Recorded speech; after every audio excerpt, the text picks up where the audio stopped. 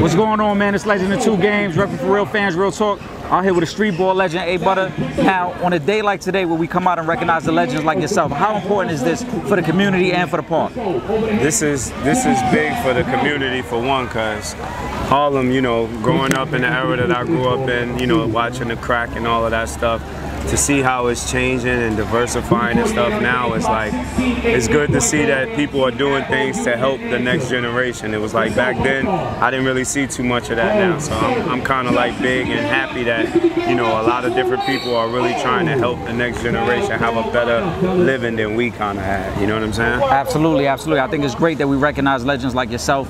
Now, appreciate that it's well known what you did to a certain NBA player on this court, dropping 40 points, right? Aside from that moment, though, name one of your greatest moments at this park.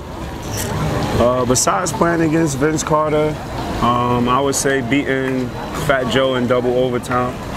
Uh, he had Stephon Marbury. You know, he was in the NBA. I'm just a high school kid, so I took I took pride in playing against the NBA players. It was something about you know, young kid having that mind state, being from New York.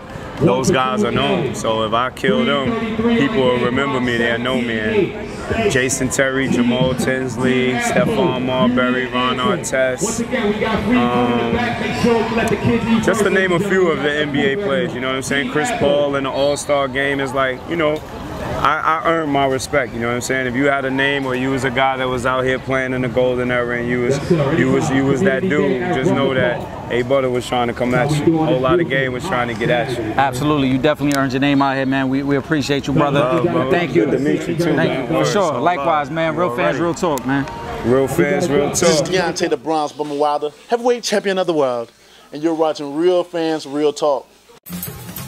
Face facts, what up, what up?